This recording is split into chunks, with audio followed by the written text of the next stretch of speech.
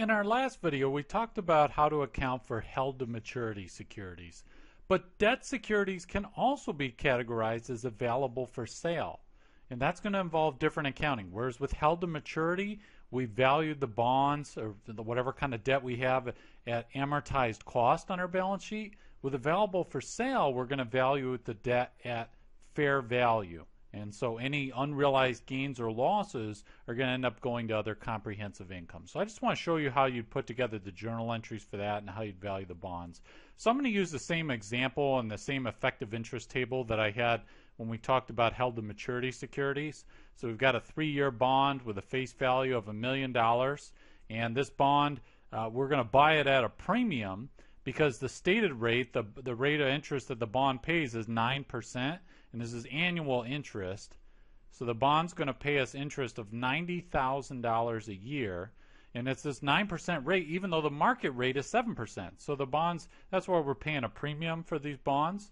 And so the amortized cost of these bonds is going to be $1,052,486 when we buy the bonds, right? There's a $52,486 premium. Okay?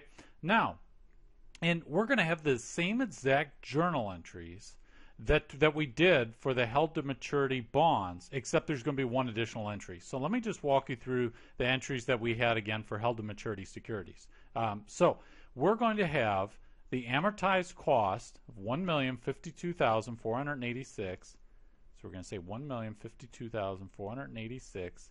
Only this time, and we're going to debit instead of held HTM securities, we're going to debit AFS, available for sale securities. Debit that for 1,052,486, and then we're going to assume we pay cash. Credit for 1,052,486. Same as what we did with held to maturity, only we're just calling it available for sale instead of HTM on our balance sheet. Now, we're going to have that same entry when we when we recognize the interest we're going to have that interest income and let me just go back to our table the interest revenue is going to be $73,674. And then we're receiving cash of 90,000. And the difference is this 90,000 minus the interest revenue, that's going to equal the amount of bond premium that we're amortizing. And so that's going to reduce the value of our asset. So let's go ahead and, and let's make the entries here. So we would have, we're receiving cash of 90,000 and then our interest revenue is that 73,000 73,674. And then we're going to credit, instead of HTM, we're going to credit available for sale securities, and we're going to credit it for that difference, that amount of the bond premium that we amortized. So we're still doing it. Now you might say, hey, wait a minute, this is exactly the, pretty much the same as held to maturity. What's the difference? Well, the difference is that because we're carrying this at fair value instead of amortized cost, now we need to make an adjustment right? We need to make an adjustment. So we, we look at the amortized cost. So the amortized cost and the fair value are the same when the bond when we actually buy the bonds, right? But at the end of the first year, we have that, that interest that we receive. Now there's a difference. We look and we say, hey, what's the fair value of these bonds? Fair value is one million thirty-seven thousand dollars, but the amortized cost is lower, one million thirty-six thousand one hundred and sixty dollars. So as the fair value is higher, we're actually going to have a gain here. We have to mark this to market and we have to make an adjustment. So what we're going to do is we're going to debit fair value adjustment available for sale securities for $840. And then we're going to credit other comprehensive income.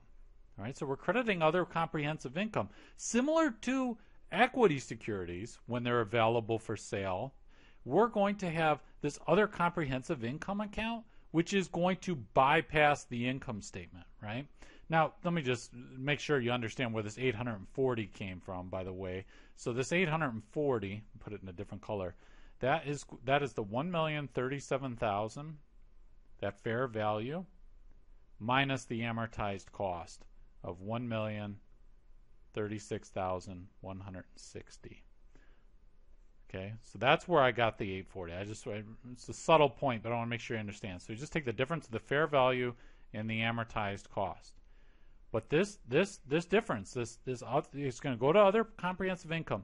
So it's not going to be a gain or loss on our income statement, right? This is ultimately going to end up in accumulated other comprehensive income, which is a part of equity, but it's it's not going to go and affect net income for this period. Now, if we were to sell, if we were to sell these securities right now and recognize and realize a gain or loss, then a realized gain or loss would go to the income statement. But because we haven't sold these securities yet, it's going to go to this other comprehensive income account. It's going to bypass net income.